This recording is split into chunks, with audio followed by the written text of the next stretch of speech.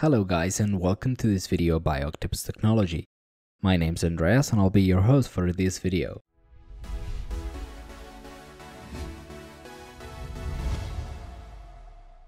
This video is basically a follow-up of my UniFi L2TP VPN setup video, which if you haven't seen, click on the top right of this video to check it out. The problem I was having after creating my VPN was that I could see and access all hosts in my home network from work, however I could not see or ping my home PC and home server which both run Windows 10. As you can see here, I am connected to my work PC through TeamViewer and connected back to the home VPN from work.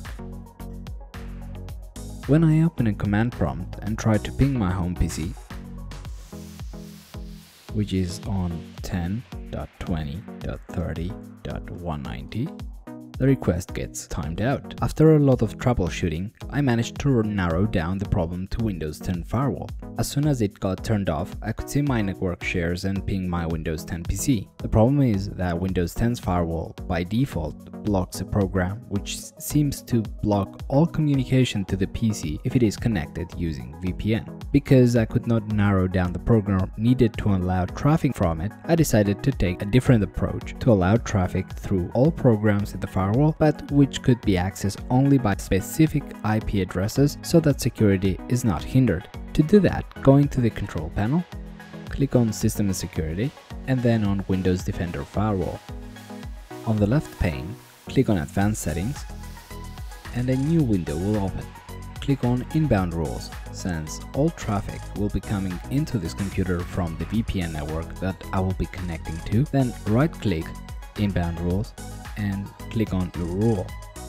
On the new window that pops up, select Custom and click Next. All programs, then Next, Next, and on which local IP addresses does this rule apply to, select these IP addresses, then add your local IP range, which in my case, as you can see from my UniFi controller, is this one.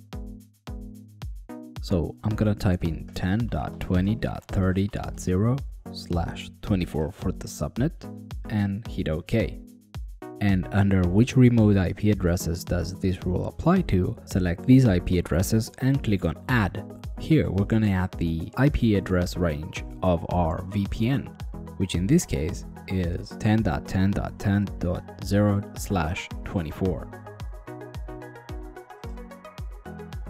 This will allow all communication coming from the VPN network to my home network without anything being locked. Click on Next, allow this connection, Next, domain, private and public, Next, and under name, I'm gonna give it a name like my VPN and hit Finish.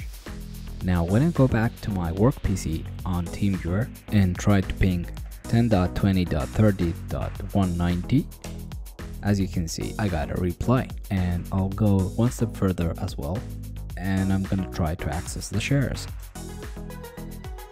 It asks for a username and password. I hope you liked this video and if you did, hit that like button, share this video with someone you think may benefit from it and subscribe to Octopus Technology. Andreas out. Buy UniFi equipment using our Amazon affiliate links below in the description. When you buy using our links, you buy stuff without any markup in price, but we get a small kickback for the purchase. Thank you.